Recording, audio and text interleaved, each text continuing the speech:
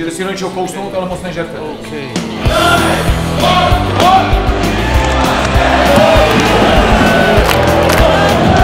Hoši, pojď! 6, si dáme s balonkem, rychle. Prohni se zádek, pojď, prohni se zádek, vyskoč, zádek se prohni. Domácní, podívej se za rukou.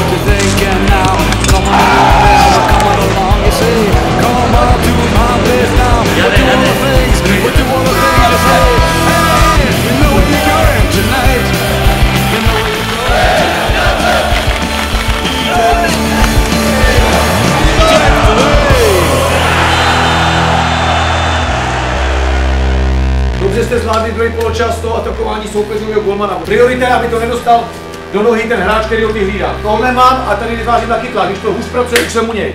Jo? Takže první lega bude teďka. Adi, druhý Cháďa, místo který bude zima, ale on nahoře.